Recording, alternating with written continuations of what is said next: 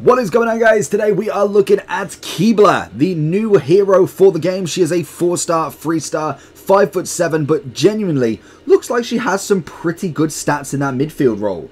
I can imagine a lot of people are either going to go shadow or anchor for her because she has got a lot of shooting, passing's very good, dribbling's at a decent level. The only thing that we haven't got really for her is the agility balance, and that's why when I've bought her, someone's put an engine on her. So she is potentially going to be more of the attacking side than necessarily the defensive. She has, like KDB, got incisive pass plus, she got jockey, Flair, First Touch, and also Trivela as normal playstyles. And before she was coming in at like 200,000 coins, she's now dipped massively all the way down to about 57 to 60,000 coins. So a very cheap option. Again, like other people that we've seen, she has got a UCL hero coming as well. So it will be interesting to see what that's all about.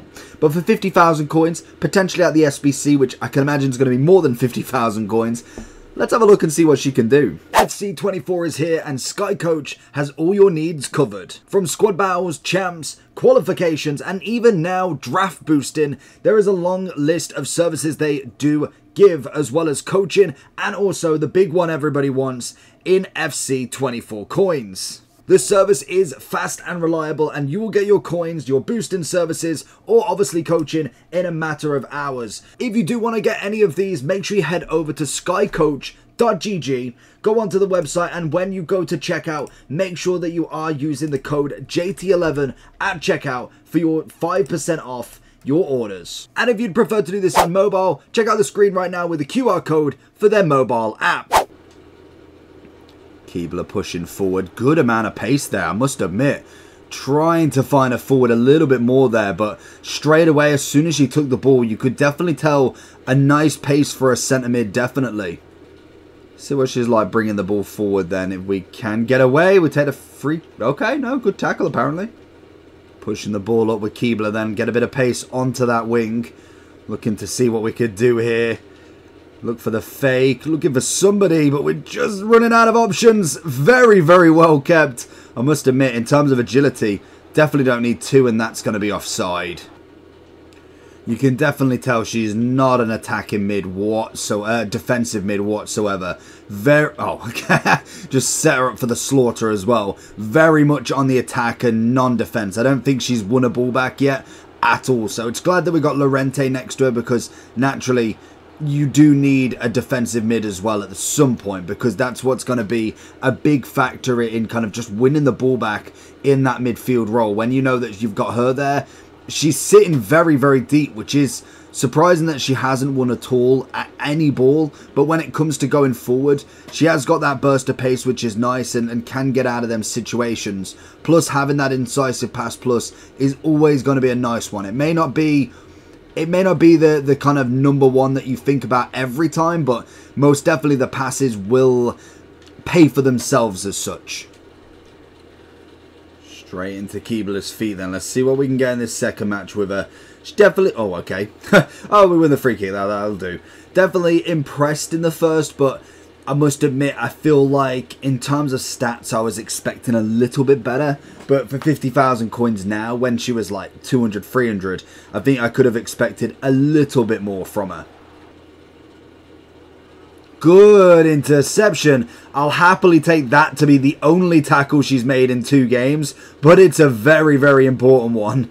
So going into the overall for Kebler then, in terms of it, I think she's a good player, and this is what it comes down to now. And, and it's the same for any sort of player. Is we are already past her, which is shocking to see because stats wise, very good. I must admit, pace wise was a lot better than expected. In terms of passing, shooting, dribbling, decent. Defending, not really any existence, to be honest, even just putting a foot out. She won one tackle. And, and to be honest, that tackle was very important, so it is what it is. So I would definitely say having a defensive mid next to her is going to be absolutely crucial as she's going to be the outlet, very much with that incisive plus, is going to be that player that, that can ping the ball left, right and centre. So I would say that potentially going for the Shadow, the engine, is going to be very, very important. So if you did go with the Shadow, you end up with 89 on that pace 85 defending, and you end up with what, an 89 C uh, centre mid, or an 87 CDM, or an 189 cam.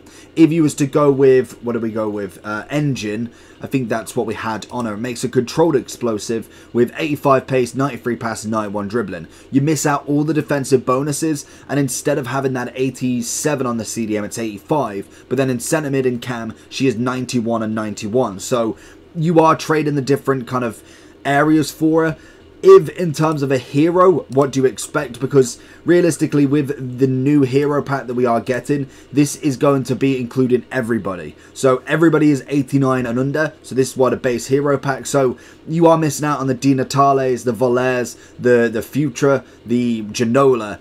Would you be happy with that? And I think that's where we come down to it because when we look at the hero players, they're not necessarily that expensive throughout, bar from the very, very top there is very little price between them. So you've got uh, two players over a mil, one just under, and we've had him twice, well, five times in an SBC now because of the max 87. We then have Ramirez at 700. We then have, say, another, what, 10 players just over 200, maybe even just coming close.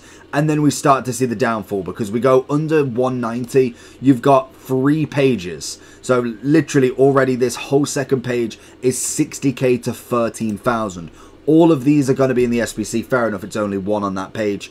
That is a big risk to take. I'm hoping that the SBC isn't going to be that expensive, but I do think in terms of kind of her place in this, she's very, very mid. And I must admit, it's going to be interesting to see where the UCL heroes come in because stats wise, and I don't know if they are official stats or not, or the official rating at the minimum, that could be a nice little boost for her. So that's why they've kind of gone with the upgrade now so that they could do the UCL heroes in a week or two and we're already not talking about these heroes anymore. So it'd be interesting to see. She is still 60,000 so she's just coming uh, kind of a little bit down from the top of the second page but most definitely isn't necessarily on everybody's radar. I think it'd be nice to have just as an extra bonus, but knowing that she's got a UCL hero, I'd rather go for another player without one, just so that I don't I don't have an upgrade to get in literally a couple of weeks terms of passing, solid.